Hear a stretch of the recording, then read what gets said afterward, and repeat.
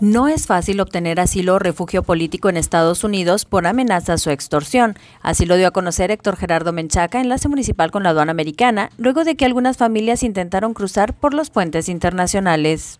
Así es, este fin de semana tuvimos varios incidentes en el puente 1 y de madrugada en el puente 2, donde algunas familias eh, que fueron extorsionadas o con un intento de extorsión vía telefónica, les dio miedo y se dirigieron al puente internacional para tratar de introducirse y resguardarse de lo que ellos sentían eran amenazados. Aquí se turnaron a la Fiscalía, la Fiscalía ha estado investigando este tipo de situaciones, Seguridad Pública ha participado en, dialogar con ellos y bueno, se invitaron a que se retiraran de ese intento que ellos tenían por llegar a los Estados Unidos. La verdad que no es tan fácil lograr este tipo de asilo. Primero hay que investigar, hay que documentarlo.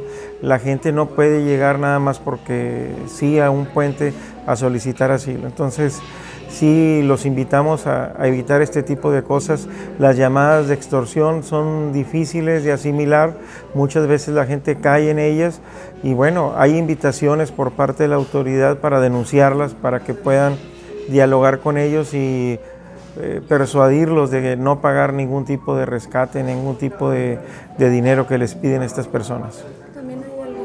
Casos en que vienen con sus papeles y todo y como quiera intentaron irse por el río Bravo.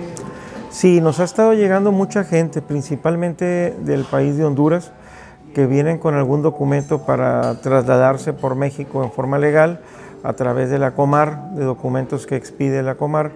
Y bueno, llegan al río argumentando que se están paseando y en algún momento se lanzan al río Bravo poniendo en peligro no solo la vida de ellos, sino de su familia también. Pero sí hemos visto un incremento en estos días. ¿Se habla con ellos o cómo, le hacen? Porque no los pueden deportar porque traen ellos legal estancia en México. Así es, ellos eh, traen documentos, no les podemos decir nada. Eh, incluso el Instituto Nacional de Migración, quien es el facultado, no les puede decir nada porque traen documentos.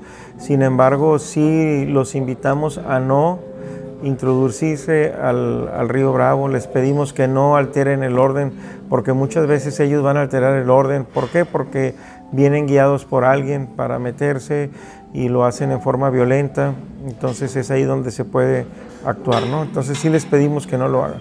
Eh, durante este fin de semana que ha habido muchas filas, ¿no ha habido problemas eh, de quienes no quieren mostrar sus papeles?